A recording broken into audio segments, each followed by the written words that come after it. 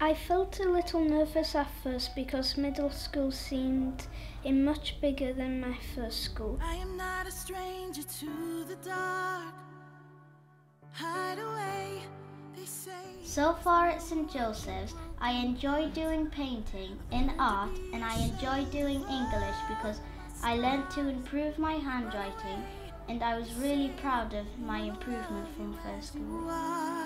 But I won't let them break me down to dust. I know that there's a place for us. After my first day, I realised it wasn't too hard to find my way around and I really enjoyed it. St. Joseph's is a really happy place to be. I'm gonna send the blood, gonna drown them out. I would rate the school dinners 10 out of 10. There's always plenty of options to choose from.